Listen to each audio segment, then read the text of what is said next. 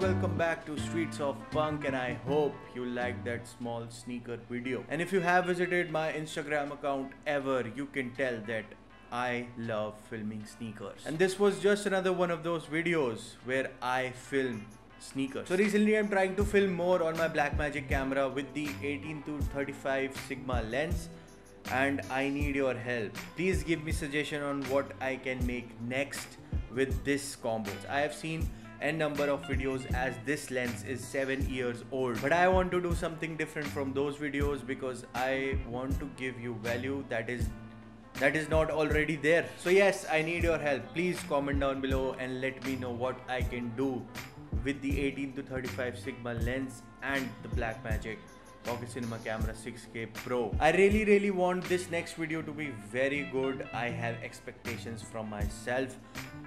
So yes, do let me know in the comments below. That's been my time guys and I'll see you in the next video. Peace.